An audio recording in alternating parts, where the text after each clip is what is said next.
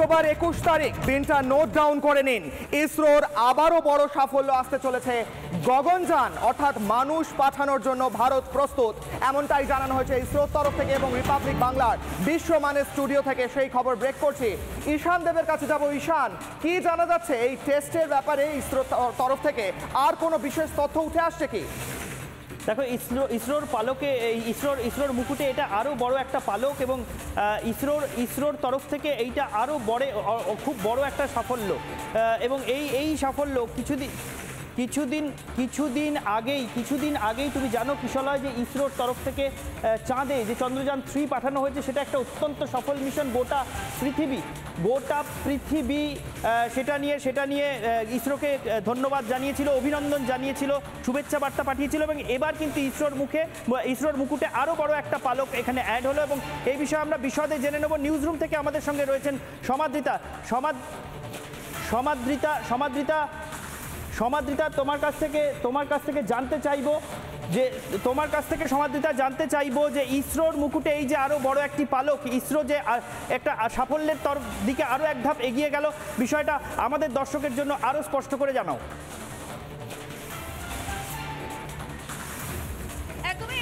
গগনযান পাঠানো হবে, এর তাৎপর্য এখানে যে দু হাজার চব্বিশের শেষের দিকে চেষ্টা করা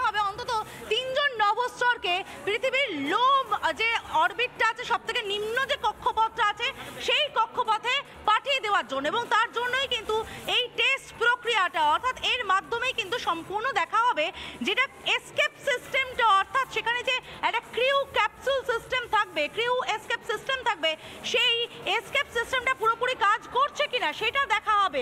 এবং একই সঙ্গে দেখা হবে যে পরবর্তী ক্ষেত্রে নবস্রদের যখন পাঠানো হবে, অর্থাৎ দু হাজার চব্বিশের ক্ষেত্রে যখন নবস্রদের পাঠানো হবে, সেই সময় ঠিক কী কী ব্যবস্থা নেওয়ার দরকার পড়বে? এবং এটা যদি হয়, এটা যদি সফল হয়, তাহলে বিশ্বের চতুর্থ দেশ হিসেবে কিন্তু ভারতবর্ষই এই চীন, আমেরিকা, রাশিয়া, এদের পর চতুর্থ দেশ হিসেবে ভারতবর্ষই প্রথম মানুষ বা নভশ্চর পাঠাবে মহাকাশ। এটা একটা অত্যন্ত বড় বিষয়, কারণ আমরা দেখেছি আমাদের মুকুটে একের পর এক সাফল্যের পালক জুড়তে দেখেছি এবং এবার যদি মহাকাশে মানুষ পাঠানো সম্ভব হয়, সেটা কিন্তু এই মহাকাশ বিজ্ঞানের ক্ষেত্রে আমরা অনেকটা অনেকটা এগিয়ে যাব। এবং সেটা আদৌ সেফলি সম্ভব কিনা, সেটা দেখার জন্যই কিন্তু এই মুহূর্তে এই টেস্টটা করা হচ্ছে, গগনযানকে পাঠানো হবে এবং পাঠিয়ে দেখা হবে যে এসকেপ একটা ক্যাপসুল করা হয়েছে। সেই ক্যাপসুলের মধ্যে ক্রিউরা থাকবে। যেটা দু হাজার শেষে করা হবে, যে লো অরবিটে পাঠানো হবে সব থেকে নিম্ন কক্ষপথে পাঠানো হবে, তখন যে ক্যাপসুলটা থাকবে সেখান থেকে সেটা ঠিকঠাক এসকেপ করছে কিনা, ঠিকভাবে নবস্তররা সুরক্ষিতভাবে ফিরে আসবেন কিনা, সেই পুরো বিষয়টা কিন্তু এখানেই পরীক্ষা নিরীক্ষা হয়ে যাবে। অর্থাৎ এই পরীক্ষা নিরীক্ষার মাধ্যমে বুঝতে পারা যাবে যে আদৌ আমরা তৈরি কিনা নভশ্চর পাঠানোর জন্য মহাকাশে।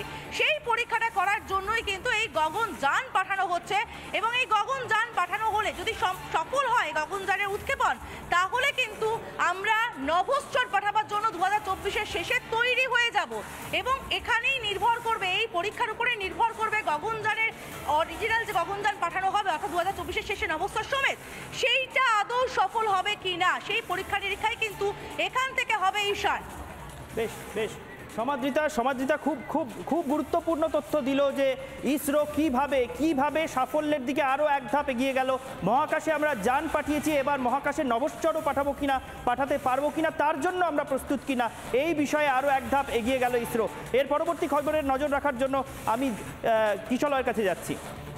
একেবারে ঈশান, তার আগে আরও একবার বলে রাখি, এর আগে ইসরোর সাফল্য, একের পর এক সাফল্য, চন্দ্রযান তিনের সাফল্য, সূর্যযানের সাফল্য, আদিত্য এলওয়ানের সাফল্য, একের পর এক সাফল্য ইসরোর বারবার মনে করিয়ে দেয়।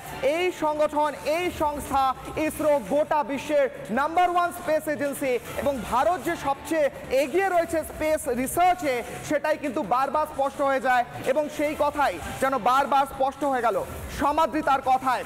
ইসরোর তরফ থেকে যেটা জানানো হয়েছে, প্রথমে হবে টেস্ট ফ্লাইট অর্থাৎ পরীক্ষা করে দেখা হবে যে মানুষরা যাবেন, যে অ্যাস্ট্রোনটদের পাঠানো হবে গগনযানে করে, তারা যেন সুরক্ষিতভাবে ফিরে আসতে পারেন।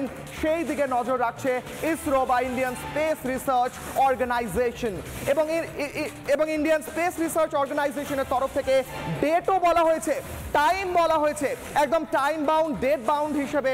কিন্তু ডেট বাউন্ড এবং টাইম বাউন্ড ভাবে ইসরো এগোচ্ছে।